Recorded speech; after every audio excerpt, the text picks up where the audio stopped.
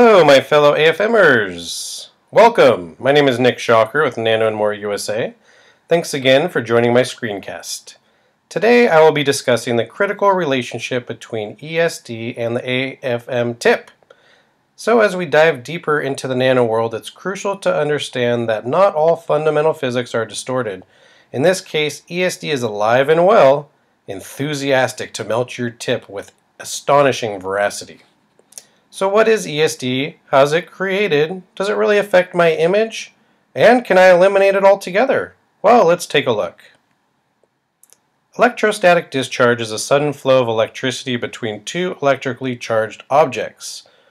For instance, lightning and thunderstorms. And in the nano world, this has the potential to destroy your AFM tip.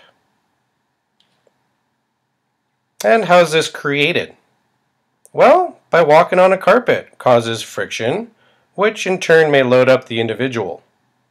That individual touches an exposed grounded object, like a doorknob, will cause a discharge. Does it affect your image? Well, it absolutely could. Please take a look at the right SEM images, and in this case, a picture tells a thousand words. The image on the left is a nice original state of a high aspect ratio tip. The image on the right is an ESD damaged tip. As you can see, the silicon melted from the kilovolts of electricity, melted the silicon down to a ball structure.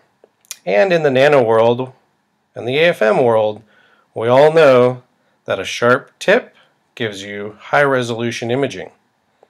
So a dull tip that gives you poor resolution as well as waste time and money.